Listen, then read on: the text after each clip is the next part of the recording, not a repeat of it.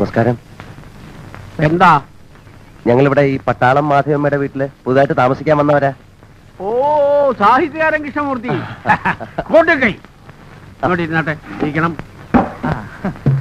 ഞാൻ നിങ്ങളുടെ ഒരു ആരാധകനാണ്. ഓഹോ. നിങ്ങളുടെ സർവകൃതികളും ഞാൻ വായിച്ചത് അവസാനം എഴുതിയ പുസ്തകം ഏതാണ്? ഈ അവസാനം എഴുതിയത് ഈ- അത് എഴുതാനാണല്ലോ ഞങ്ങളിവിടെ വന്നിരിക്കുന്നത് കോളനിക്കാരെ പറ്റിട്ട് അല്ലേ? അതെ.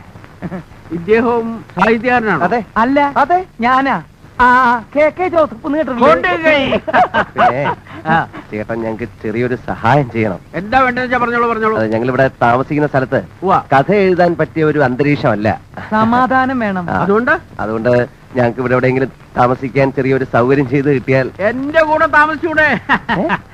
എന്താ ബുദ്ധിമുട്ട് വല്ലതും ഉണ്ടോ? ഒരു ബുദ്ധിമുട്ടില്ല ഇടയ്ക്ക് ഇടയ്ക്ക് ഇടയ്ക്കിടയ്ക്ക് കൈ കൊടുക്കൽ മാത്രമേ ഒരു ബുദ്ധിമുട്ടുള്ളൂ അല്ലേ? കൊറേ കാലം കൂടിയിട്ടാ രണ്ട് മനുഷ്യർ എന്റെ മുമ്പിൽ വരുന്നത്. അതിന്റെ ഒരു സന്തോഷ. അതെന്താ മനുഷ്യരാരും ഇങ്ങോട്ട് വരാറില്ലേ? ഇവിടെ ഇവിടെ മനുഷ്യരിക്കണു ഒക്കെ മൃഗങ്ങളല്ലേ ഇരുകാലി മൃഗങ്ങൾ. മനുഷ്യരായിരുന്നു ജവന്മാർ ഇങ്ങനെ ചെയ്യുവോ? ആ മൂസാ സേട്ടന്റെ സ്ഥലത്ത് വാടകയും കൊടുക്കാതെ ഒഴിഞ്ഞും കൊടുക്കാതെ അക്രമവും കാണിച്ച് ഇവരിങ്ങനെ കിടക്കുവോ? സ്വാമി നമ്മൾ കറക്റ്റ് ആളുടെ അടുത്ത് വന്ന് പറ്റുന്ന നല്ല മനുഷ്യനാണ്. ആ പിന്നൊരു കാര്യമുണ്ട്. മൂസാ സേട്ടൻ ഇവന്മാരെ അങ്ങനെ അങ്ങോട്ട് ഒഴിപ്പിക്കാൻ പറ്റില്ല. കാരണം ഇവർ വാടകക്കാരാണെന്നോ കയ്യേറ്റക്കാരാണോ എന്നുള്ളതിന്റെ ഒരു രേഖയും സേട്ടുവിന്റെ കയ്യിലില്ല. പക്ഷേ ആ രേഖ എന്റെ കയ്യിലുണ്ട്. ഇവന്മാരെ എല്ലാം കുടിയൊഴിപ്പിക്കാനുള്ള രേഖ എന്റെ കയ്യിലുണ്ടെന്ന് നിങ്ങൾക്ക് കാണണോ? കാണാം. ദേ കണ്ടോളൂ? ഇതാണ് ആ രേഖ. എന്റെ കയ്യിലുള്ള രേഖ. അയ്യേ.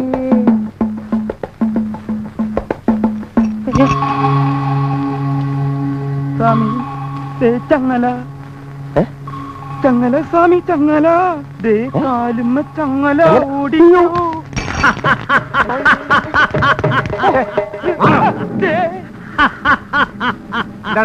ആ പ്രാന്തന്റെ വെട്ടോട് ഞാൻ പോയതാ? എടാ പട്ടി. നീ പോടാ പട്ടി. അവരെന്റെ വീട്ടിൽ വാടകയ്ക്ക് താമസിക്കാമെന്നാടാ പട്ടി. അത് ശരി. നീയൊക്കെ ഇവിടെ വീട് വീടാൻ വാടക താമസിക്കാൻ അല്ല. അതെ ഞങ്ങൾ മാധവമ്മയുടെ വീട്ടിൽ താമസിക്കുകയാണെങ്കിൽ ഞങ്ങളെ കൊന്നുകളയുന്ന വട്ടപ്പള്ളി പറഞ്ഞിരിക്കുന്നത് അവൻ പറയുന്നിട്ട് ഒഴിയാൻ പോവാ. നിങ്ങൾ അവിടെ താമസിച്ചാ മതി. അല്ല. ഞാൻ പറയുന്ന അനുസരിച്ചാ മതി. ഞങ്ങൾ കാരണം നിങ്ങൾ തമ്മിൽ വഴക്കിടണ്ട ഞങ്ങൾ മാറിക്കോളാം. മാറിക്കോളാന്നു. ഇനി എങ്ങാനും നിങ്ങൾ അവിടുന്ന് മാറിയാ. കൊല്ലുന്നത് ഞാനായിരിക്കും. അയ്യോ ഞാൻ പറയുന്നത് ഞാൻ പറയുന്നത് പ്ലീസ് ഞാൻ പറയാം നമുക്കതൊരു സമാധാനമായിട്ട് പറഞ്ഞിട്ട് സമാധാനം ഉണ്ടാക്കാൻ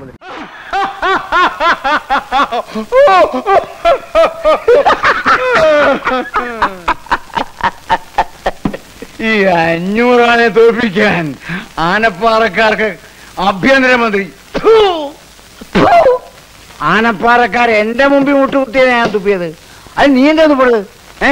മുതലാളി എന്റെ വായി തുപ്പിയിട്ട് അത് നീ തുപ്പടത്തോന്ന് കോണാമ്പി പോലെ വായം പൊളിച്ചിരുന്നിട്ടല്ലേ? അങ്ങോട്ട് മാറിയിടാ മാറിയിരുന്ന ചെവിയേക്കൂല മുതലാളി. കേട്ടിട്ടെന്തിനാ? മലമറയ്ക്കാനോ അങ്ങോട്ട് മാറിയിടാ ആ അപ്പൊ ചന്തി കൊണ്ട് നിലനിടയ്ക്കാണോ എന്നിട്ട് മാറിയിരിക്കാൻ.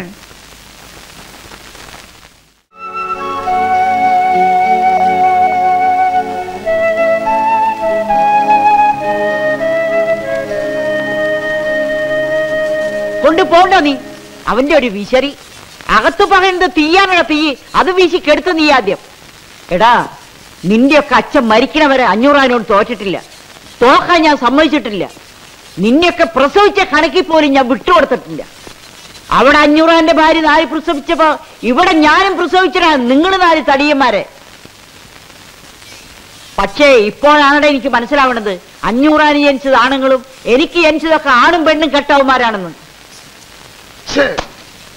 ഭൂമി ദേഷ്യപ്പെട്ടുകൊണ്ടായില്ല അമ്മ പറയുന്നതിലും കാര്യമുണ്ട്. നിങ്ങളെ പോലെ നാലേ നാല് ആൺമക്കളല്ലേ അവിടെ അഞ്ഞൂറാനുള്ളൂ എന്തുകൊണ്ട് ഇത്രയും കാലമായിട്ട് നിങ്ങൾക്ക് അവരെ ജയിക്കാൻ പറ്റിയിട്ടില്ല? ബുദ്ധി ഇല്ലാഞ്ഞിട്ടോ ശക്തി ഇല്ലാഞ്ഞിട്ടോ പണമില്ലാഞ്ഞിട്ടോ ഒന്നുമല്ലല്ലോ. നിങ്ങളെക്കാൾ യോജിപ്പ് അവന്മാർക്ക് അവിടെ ഉള്ളതുകൊണ്ടാ. അവിടെ അഞ്ഞൂറാൻ പറയുന്നു മക്കൾ അനുസരിക്കുന്നു. ഇവിടെ അതാണോ സ്ഥിതി? നിങ്ങൾക്ക് ഓരോരുത്തർക്കും നിങ്ങളുടെ ഭാര്യമാർ പറയുന്നതല്ലേ വലിയ കാര്യം? അങ്ങനെ പറഞ്ഞു കൊടുക്ക് വക്കീൽ അങ്ങോട്ട്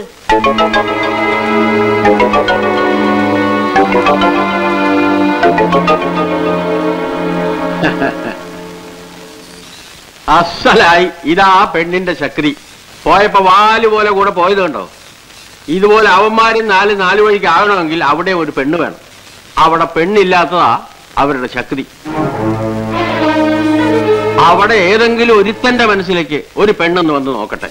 പിന്നെ നിങ്ങളും വേണ്ട വക്കീലും വേണ്ട കേസും വേണ്ട കോടതിയും വേണ്ട ഒന്നും വേണ്ട. എല്ലാം അവളെ ചെയ്തോളൂ. അഞ്ഞൂറാന്റെ കുടുംബം കുഴിച്ച് കുളം തോണ്ടുന്ന കാര്യം ആ പെണ്ണ് നോക്കിക്കോളൂ എന്തു പറയുന്നു? പതിയാക്കണമെന്ന് ഏ? കുറെ നേരമായില്ലേ ഒന്ന് കുരക്കണത്. ഇവിടെ ഒരു കൊച്ചു കല്യാണം മടങ്ങി കരഞ്ഞരച്ച് കിടക്കണത് അപ്പോഴെ അവന്മാർക്ക് വേണ്ടി അന്വേഷിക്കാൻ നടക്കണത്. കല്യാണം മുടങ്ങി വെച്ചാൽ ഞാൻ കൊല്ലാൻ പറ്റുമോ? പഠിക്കാൻ വിടണം. കൊല്ലണോ പഠിപ്പിക്കണോ എന്നൊക്കെ ഞങ്ങൾ തീരുമാനിച്ചോളാം. അതിനി പഠിക്കാൻ പോവില്ല എന്നാ പറയുന്നത്. പഠിക്കാൻ പോവില്ല എന്നൊക്കെ അത് പറയും. പക്ഷെ ഇനി ഇവിടെ ഇങ്ങനെ നിർത്തിക്കൊണ്ടിരുന്ന അതിന്റെ വിഷമം കൂടുകയുള്ളൂ അതുകൊണ്ടാണ് പറയണത് അതിനെ പഠിക്കാൻ വിടണം. അങ്ങനെ നമ്മുടെ മാല മടങ്ങി വരികയാണ്. മടങ്ങി വരുന്ന മാലുവിന് നമ്മൾ ഗംഭീരമായി വരവേൽപ്പ് കൊടുക്കാൻ പോവുകയാണ്. അതിനുവേണ്ടി ഉദാരമായി സംഭാവന ചെയ്യുക. വരട്ടെ വരട്ടെ. നിങ്ങൾ ഒടിഞ്ഞു പോരട്ടെ സംഭാവനകൾ കൂമ്പാരമായാൽ പരിപാടി ഗംഭീരമാവും. വരട്ടെ വരട്ടെ വരട്ടെ. അവിടെ അല്ല ഇതുമായിട്ട് ഇവിടെ നിൽക്കുന്ന നിന്റെ ഒക്കെ ജാട കാണാനല്ല. ഷോക്കല്ലേ ഇവിടെ വെച്ചിരിക്കുന്നത്? എടേ. ആ മേഴ്സി വരുന്നുണ്ട്. ആ തല്ലുള്ളി രാവിലെ തണ്ടാൻ ഇറങ്ങിയിട്ടുണ്ട്. വെൽക്കം വെൽക്കം മേഴ്സി വരുന്നുണ്ട്. മേഴ്സി ഞങ്ങളോട് അല്പം മേഴ്സി കാണിക്കണം. ഇതിനകത്ത് കാര്യമായിട്ട് എന്തെങ്കിലും ഇടണം. മടങ്ങി വരുന്ന മാലുവിന് ഒരു വരവേൽപ്പ് കൊടുക്കാൻ വേണ്ടിട്ടാണ് പ്ലീസ് ഇല്ല ഒന്നുമില്ല. കാശില്ലെന്നാണോ? മനസ്സില്ലെന്നാണോ? മനസ്സില്ല. മനസ്സ് വേണ്ട കാശ് മതി. നാണമില്ലല്ലോ. എന്തിനാ നാണിക്കുന്നത്? ഓശാരത്തിനല്ലല്ലോ. നല്ലോണം തെണ്ടിയിട്ടല്ലേ? കാശിലേ പറഞ്ഞാൽ മതി. അങ്ങോട്ട് തരാം. ഇടാം ഇടാം ആർക്ക് വിടാം? ഏത് അഞ്ഞൂറാന്റെ മോന് വിടാം? ഇട്ടോളൂ തെണ്ടിക്കണം എന്തെങ്കിലും പറഞ്ഞാൽ ഉടനെ പാട്ട എടുത്ത് തെണ്ടിക്കണം എടാ ഈ പരിപാടി ഞാൻ പ്ലാൻ ചെയ്താണെങ്കിൽ അതിന്റെ ചെലവ് വഹിക്കാനും എനിക്കറിയാം. ഇത് ആ ചെലവ് വഹിക്കാനുള്ളതല്ല. അറിയാം നിനക്ക് വഹിക്കാനുള്ളതാണെന്ന് എനിക്കറിയാം. അങ്ങനെ നീ വഹിക്കണ്ട. അയ്യേ ഇതിപ്പോ നിന്റെ പോക്കറ്റ് കിടന്നാലും എന്റെ പോക്കറ്റ് കിടന്നാലും എന്താണ് വ്യത്യാസം? ഒരു വ്യത്യാസം ഇല്ലല്ലോ അപ്പൊ ഇത് ഇവിടെ തന്നെ കിടക്കട്ടെ. ഇവർക്കാർക്കും വിരോധമില്ല? എനിക്ക് പ്രശ്നമില്ല. ഏതായാലും അവർക്ക് നമ്മൾ കൊടുക്കുന്ന വരവേൽപ്പ് ഗംഭീരമായിരിക്കണം. അവരുടെ കൂട്ടുകാരികൾ കൊടുത്ത യാത്രയപ്പിനേക്കാൾ ഗംഭീരമായ വരവേൽപ്പ്. ഓക്കെ ഓക്കെ സ്റ്റാറിങ് നേരെ പിടിക്കും. ഇതൊന്നും നേരെ പിടിക്കാൻ ആർക്കും വല്ലതും കൊടുക്കണം? ലെഫ്റ്റ് ലെഫ്റ്റ് ആ റൈറ്റ് ആ.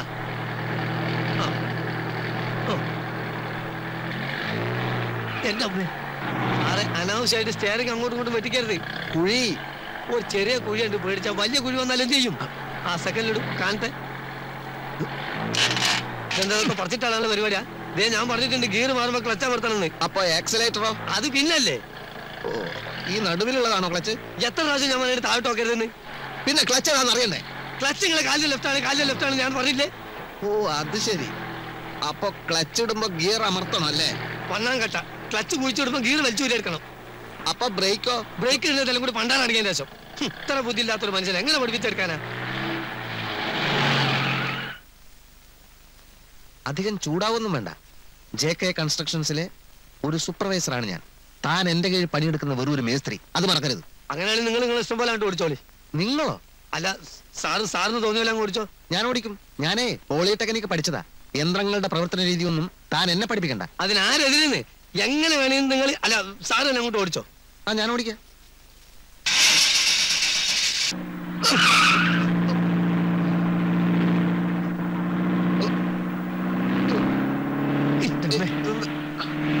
എന്താ മനുഷ്യനെ കൊല്ലാൻ കൊണ്ടുപോവാ. ബ്രേക്കിന് ബ്രേക്കിന് ഔട്ട് ചെയ്ത്. ബ്രേക്ക് എവിടെ? ബ്രേക്ക് എവിടെ? ബ്രേക്കിന്റെ ബ്രേക്ക് എവിടത്തെ കാര്യങ്ങൾ ബ്രേക്ക് എവിടെ? കാൽ മാറിയാ ഞാൻ ഔട്ടിക്കോളാം എവിടത്തേക്കാണ് നിങ്ങൾ കൊണ്ടുപോകുന്നത് കാൽ മാറ്റിയാ.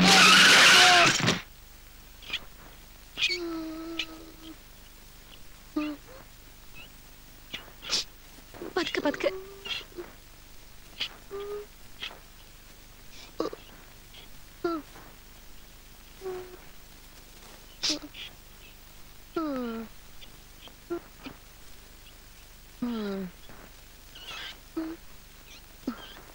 നിങ്ങളുടെ വിടാതാ സന്തോഷം.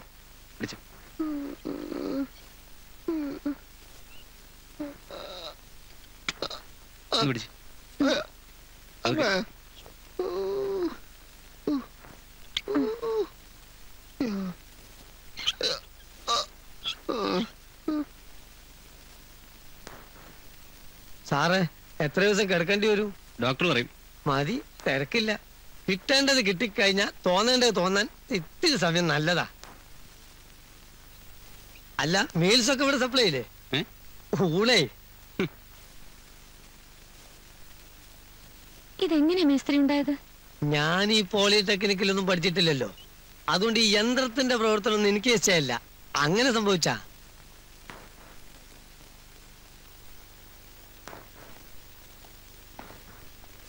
ഓ കർത്താവ് കാത്തു. ക്ലാസ് എടുത്തുകൊണ്ടിരിക്കുമ്പോഴാണ് ഞാൻ വിവരം അറിഞ്ഞത്. ഉടനെ കാർ അടിച്ച സ്ഥലത്തെത്തി ഇങ്ങോട്ട് ഫോൺ ചെയ്തപ്പോ കുഴപ്പമില്ല അറിഞ്ഞു. ആ ഇടിച്ച കാറ് കണ്ടാൽ അതിനകത്ത് ഇരിപ്പുണ്ടായിരുന്നവരെല്ലാം ചത്തണ്ടെന്നേ വിചാരിക്കുള്ളൂ. അങ്ങനെ ചത്തിട്ടുണ്ടെങ്കിൽ നമ്മുടെ കോളനിക്കാർക്ക് അനുശോചനം രേഖപ്പെടുത്താൻ വേണ്ടി കറുത്ത തുണി മേടിക്കാൻ പോയിരിക്കുക സുലോചന. അതിപ്പോ വേസ്റ്റായി ഇടിച്ചതേ ഒരു അഡ്വക്കേറ്റിന്റെ വീടായിരുന്നു. അയാൾ ലോ പോയിന്റ് പറയാ. അയാളെ മനഃപൂർവം കൊല്ലാൻ വേണ്ടി മതിൽ ഇടിച്ചു പൊളിച്ച് കാർ അകത്ത് കയറ്റിയതാണെന്ന്. കോടതി പോവാതിരിക്കാൻ അയ്യായിരം രൂപ ചോദിച്ചു. മതിലിന് നാലായിരം വേറെ. രൂപ ഞാൻ അഡ്ജസ്റ്റ് ചെയ്ത് കൊടുത്തു. ഈ ഒമ്പതിനായിരോ? അതെ. കൂടുതൽ കുഴപ്പങ്ങളില്ലാതെ കേസ് ഒതുക്കുന്നതല്ലേ നല്ലത്. കൊല്ലാൻ ചെമിച്ചാണെന്നൊക്കെ പറഞ്ഞ ചിലപ്പോ അഴി എണ്ണണ്ട വരും. കേട്ടോ സാറേ ആ കാറിന്റെ കിടപ്പൊന്ന് കാണേണ്ടതാ. അതെ. തോട്ട വിഴുങ്ങിയ പന്നിയുടെ തല പോലെ ആയിപ്പോയി. ഏതായാലും കാറ് ഞാൻ ലോറി കയറ്റി വർക്ക്ഷോപ്പിൽ എത്തിച്ചിട്ടുണ്ട്. ഒരു പത്ത് പതിനായിരം രൂപ ചെലവാക്കിയ വണ്ടി നേരെ ആക്കാന്നാണ് മെക്കാനിക്ക് പറയണേ. എന്റെ ഈശ്വര. ആ കാറ് കണ്ടപ്പോഴേ ഞാൻ പറഞ്ഞില്ലേ തല്ലിപ്പുളിയാണെന്ന്. ഇനിയിപ്പൊ വെറുതെ നന്നാക്കി കിട്ടിയാലും ആ അവലക്ഷണം കെട്ട കാറ് നമുക്ക് വേണ്ട. ഈ ബ്ലഡി ഫൂളും ആയിട്ടുള്ള കൂട്ടുകെട്ടും നിങ്ങൾക്ക് അത്ര നല്ലതല്ല. ദേ ഞാൻ രണ്ടാളോടും കൂടിയിട്ട് പറയണേ. അപ്പോ ഞങ്ങൾ കോളനി പോയി വിവരം പറയാം. എല്ലാരും കൂടെ ഓടിക്കാതെ അവിടെ നിന്ന് ഇങ്ങോട്ട് വരേണ്ട കാര്യമില്ലല്ലോ. അതെ. അതൊരു ശല്യമായി തീരും. സാറേ തെറ്റ് എന്റെ അടുത്താണ്. എന്നോട് ക്ഷമിക്കണം. എന്താണ് യഥാർത്ഥത്തിൽ ഉണ്ടായതെന്ന് ഞാൻ പറഞ്ഞുതരാം. സ്വകാര്യാണ് വരൂ. അവിടെ നിൽക്ക് ഞാൻ പിന്നെ പറയാം. അവിടെ നിൽക്ക് നടന്നോ. നടന്നോളൂ. ആ എന്താ ഉണ്ടായത്? ഒരുത്തൻ അപകടം പറ്റി ആസ്പത്രിക്ക് എടുക്കുമ്പോഴല്ല ചെറ്റവർത്താനം പറയൽ. മനസ്സിലായോ? ഓ. ഇനി ഇത് ആവർത്തിക്കരുത്. ആരും കണ്ടിട്ടില്ല. ദയവ് ചെയ്ത് ഇക്കാര്യം പുറത്ത് ആരോടും പറയരുത്. എനിക്കത് ക്ഷീണ. കമോൺ